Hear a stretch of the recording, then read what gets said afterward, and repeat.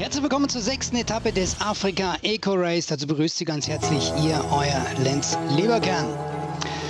Nach einem sehr frühen Aufbruch in Dakar und einem extrem reibungslosen Grenzübertritt kam die Afrika Eco Race Karawane an einem sehr windigen Montagmorgen in Mauritanien an. Da ein Großteil des Tages mit der Anreise verbracht wurde, erwartete man keine lange gezeitete Etappe. Aber es sollte eine gute Einführung in das sein, was die Teams in den kommenden Tagen erwartet. insbesondere auf der Marathon-Etappe. Insgesamt waren 176 Kilometern gezeitete Etappe nach Chami geplant. Le, le Euh, Aber die Geschichte sah anders aus. Sie wissen, dass das Wichtigste für das Afrika Race darin besteht, dass der Wettkampf mit einem Höchstmaß an Sicherheitsvorkehrungen stattfindet. Lassen Sie mich das auf Englisch wiederholen. Die Hubschrauber, die können heute nicht starten, weil es in der Klar einen kleinen Sturm gibt. Und ich will mit euch definitiv kein Risiko eingehen. Erklärt uns Jean-Louis Schlesser. For example, if a biker have a problem somewhere,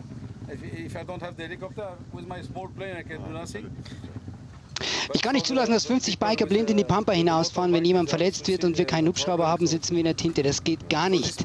Sicherheit steht bei uns an erster Stelle.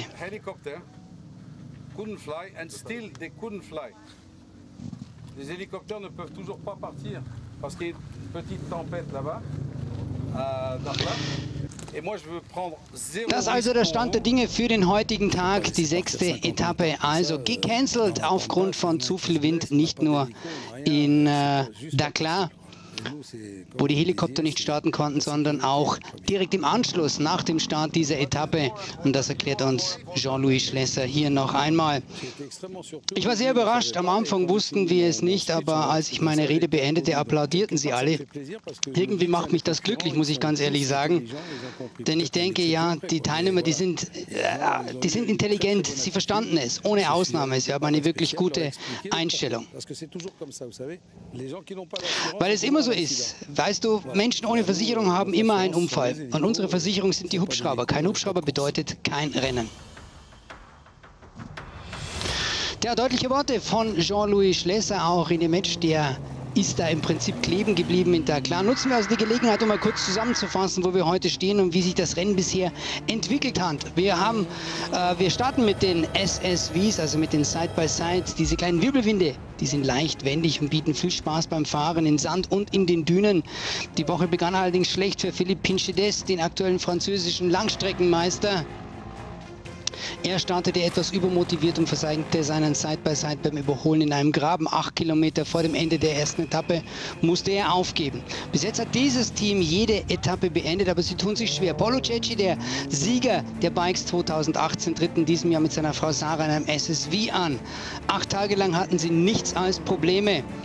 Aber Sie liegen noch im Rennen. Auch für den SSV-Sieger des Vorjahres, Jean-Hugues Moniron, gibt es viele Probleme. Der französisch-senegalesische Pilot hält durch, ist aber trotz des Sieges in der ersten Etappe weit von der Spitze entfernt.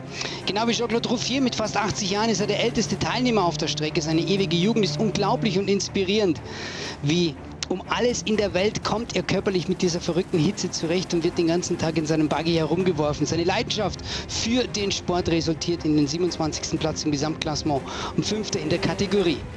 Er liegt weit hinter seinen Freunden, den Brüdern im Team B2F, Benoit und Bruno Fretin.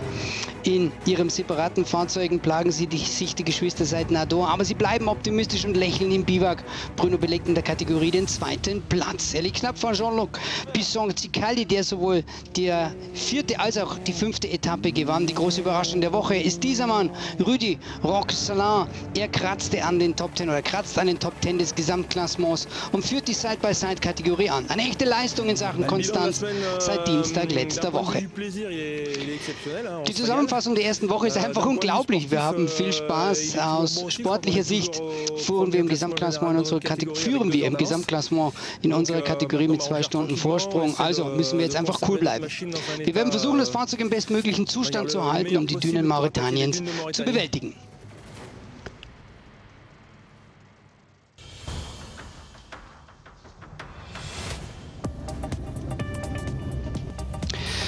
Kommen wir nun zu den dicken Brummern des Afrika Eco Race, den Trucks. In dieser Kategorie ist die Spitze extrem dicht, was uns zur Freude für viel Spannung sorgen sollte. Die Niederlande sind da gut vertreten. Art van Welsen ist zu diesem Zeitpunkt des Rennens ihr heißestes Eisen im Feuer, liegt auf dem vierten Platz in der Kategorie. Nach knapp acht, knapp acht Minuten vor ihm liegt der Belgier Igor Bowens. Nach dem Gewinn der ersten Etappe brach er sich einen Teil seiner Längssäule und hatte in der fünften Etappe Probleme mit seinem Turbo. Einen Platz weiter der Veteran dieser Kategorie Nölesser, immer wieder mit strahlenden Augen unterwegs, war der erste Teil seines Rennens sehr konstant. Mit 75 Jahren hat er bisher keine Probleme und liegt in den Top 10 der Gesamtwertung auf Platz 2 der Trucks. Bravo, kann man da nur sagen. Dieser Mann hatte bisher nur ein Problem, aber das war massiv. Thomas Tomacek, aka Captain Solo, der von Tag 2 an führte, verrauchte am letzten Tag in Marokko die Kupplung. Der sympathische Tscheche verlor damit seine Spitzenposition an Elisabeth Giacinto.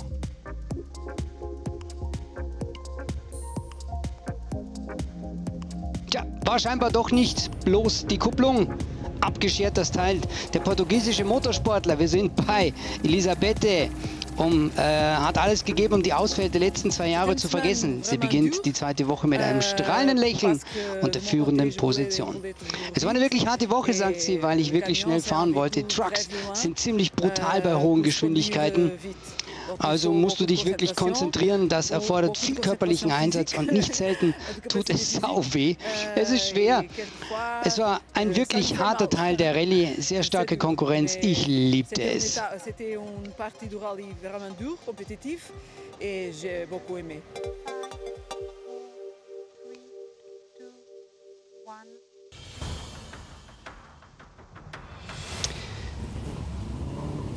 Die Autokategorie hat diese Woche einige Überraschungen erlebt. Dominique Augier war der Favorit, als er Monaco verließ, aber in Etappe 4 übersah er einem Roadbook deutlich markiertes Gefahrenlevel 2 und hob buchstäblich ab. Nach einigen Überschlägen landete er wieder auf allen vier Rädern und obwohl er mehr durchgeschüttelt als verletzt war, musste er leider aufgeben. Auf der anderen Seite sind die Gebrüder Kuprianov von ihrer Woche begeistert. Normalerweise findet man sie am Steuer eines Kammerstrucks und ihr erster Ausflug in einem Buggy erweist sich als ziemlich erfolgreich. Sie gewannen die fünfte Etappe und sind insgesamt achte. Und unter den Top 3 finden wir drei Optimus Buggies. Im Moment dominiert das MD-Team diese Kategorie. Jean-Noël und Rabanuel sind Dritte und freuen sich über ihren bisherigen Erfolg. Direkt auf den Fersen eines Veterans, der seit drei Jahren nicht mehr gefahren ist, Jean-Pierre Strugon und François Borsotto, juckt es nach Mauretanien zu kommen und sie wissen sehr gut, dass die 22 Minuten und 30 Sekunden, die sie von den Führenden trennen, leicht in den Dünen aufgeholt werden können. Der Führende ist sich dieses Drucks nur allzu bewusst.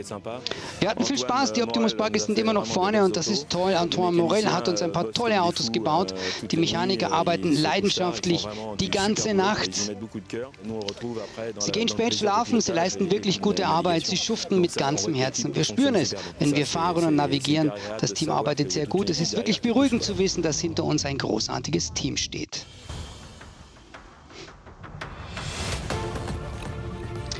Und hier ist die Geschichte eines Mannes mit einem Traum. Ein Mann, der wie die alten Biker davon träumte, mit seinem Motorrad nach Dakar zu fahren.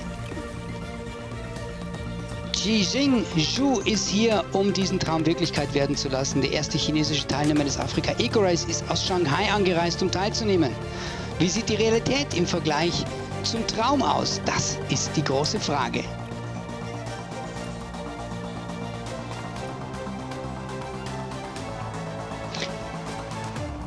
Tja, und diese Frage, die haben wir auch ihm gestellt. Ich möchte meinem Kumpel Guillaume Vidal danken, dass er mich in dieses Rennen eingeführt hat. Natürlich, sobald ich davon gehört habe, ist es, es ist ja in Afrika und es ist der Traum eines jeden Bikers, nach Dakar zu fahren. Es ist ein Traum. Also bin ich sehr glücklich dabei zu sein und äußerst begeistert, was dieses Rennen betrifft. 也是非常有吸引力的，所以说我俩就决定来到了这里。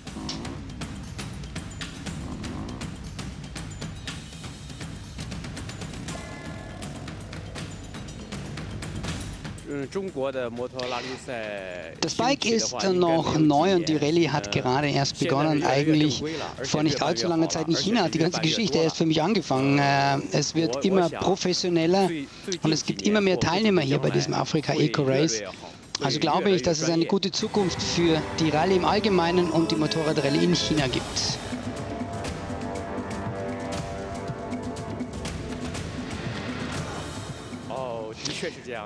Ich schicke viele Fotos nach Hause und die Leute sind wirklich begeistert, sehr neidisch und erleben mit mir, wie Afrika aussieht.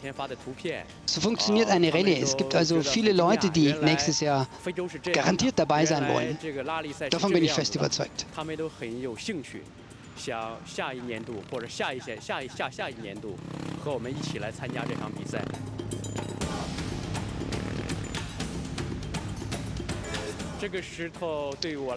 Ich habe die Steine von Marokko wirklich gehasst und ich möchte sie gerne wirklich weit, weit weg von mir schmeißen.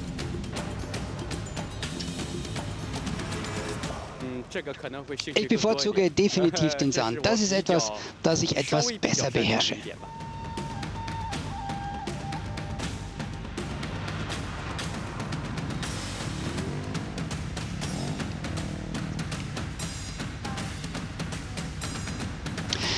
Tja, das ist der Geist der Dakar, das ist der Geist des Rallye Raid in Afrika. Und damit kommen wir zu den Bikes, zu den ja, Protagonisten, die sich da vorne tummeln. Bei den Bikes dreht sich in der Spitze alles um den Kampf zwischen Italien und Norwegen. Der beste französische Biker sitzt auf Platz 7. Philipp Cavelius ist Zahntechniker aus Metz und hat sich von Anfang an täglich verbessert.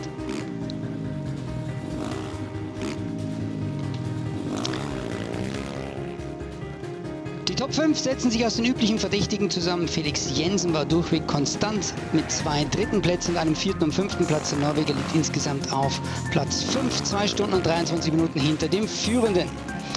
Ein Sturz zu Beginn der Rallye erschütterte das Vertrauen dieses Fahrers ein wenig, aber Simone Agazzi ist wieder in Form. Der Italiener hat seinen Rhythmus beibehalten und befindet sich auf dem vierten Platz.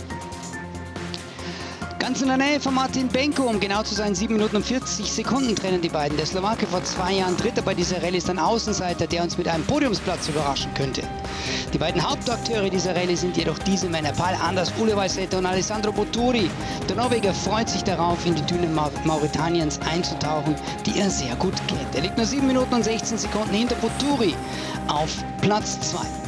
Der Italiener ist schnell in der Navigation, könnte aber in den Dünen einen Nachteil gegenüber dem Norweger haben. Wie auch immer es sich entwickelt, er freut sich, bei seinem ersten Einsatz im Afrika Eco Race der Spitzenreiter zu sein. Es ist mein erstes Afrika-Rennen und ich denke, es ist das unglaublichste Rennen. Und ich betone es nochmal, es kommt alles auf die Navigation an. Das ist alles hier fantastisch. Ich liebe die Wüste. Es ist, gibt mir meilenweit niemanden und du musst alles alleine machen. Tja, und das war es leider schon für heute. Nicht der Bericht, den wir geplant hatten, aber wir hoffen auf besseres Wetter morgen, damit wir endlich die Rallye-Action in Mauritanien genießen können. Und wir nähern uns damit immer weiter dem Ziel Dakar und dem rosafarbenen See. Auf die Teams warten morgen 480 Kilometer über Kamelgras und Dünen. Die Navigation zwischen Gare Nord und Kemi wird tückisch und am Ende des Tages feiern die Teilnehmer für die Nacht direkt oder fahren die Teilnehmer für die Nacht direkt in den Park Fermé und geben den Mechanikern eine freie Nacht. Am Donnerstag bei der Handball-WM. Chile gegen Co-Gastgeber Dänemark. Und am Freitag in unserer Gruppe Brasilien gegen Titelverteidiger Frankreich. Live bei Eurosport 1 und im Eurosport Player. Samstag, die Winterweltcups in Val di Fiemme. Zuerst die nordische Kombination. Und später übernehmen die Skisprung-Spezialisten. Live bei Eurosport 2 und im Eurosport Player.